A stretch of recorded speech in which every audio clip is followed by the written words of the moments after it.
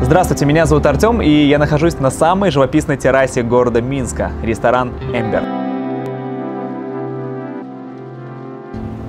И сегодня я буду пробовать осьминога от Джон Дори.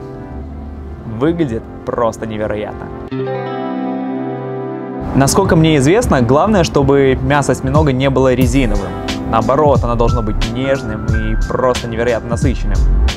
Мне кажется, внешне все таким и будет. Не буду тянуть резину, давайте-ка приступим и попробуем. Ну что ж.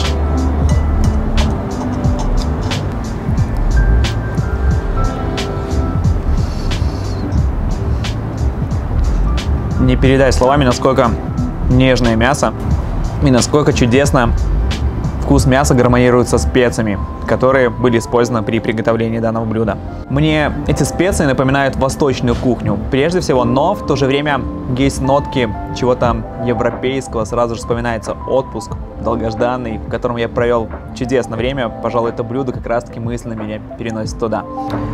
Рядом со осьминогом я вижу что-то очень похожее на картофельное пюре. Давайте попробуем. Что же это?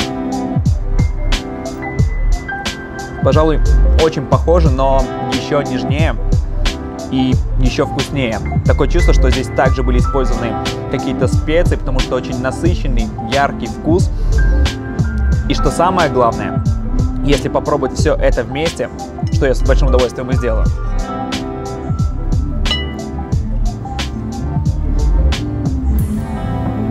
это идеальное сочетание. С одной стороны, пикантное мясо осьминога, а с другой стороны нежнейшая картофельная пена. Что может быть еще лучше? И стоит признаться, хороший осьминог Джон Дори. Рекомендацион. Если вы не против, я доем уже это без вас, а вам рекомендую посетить ресторан Эмбер. Потрясающее блюдо от шеф-повара Рэнди. До новых встреч!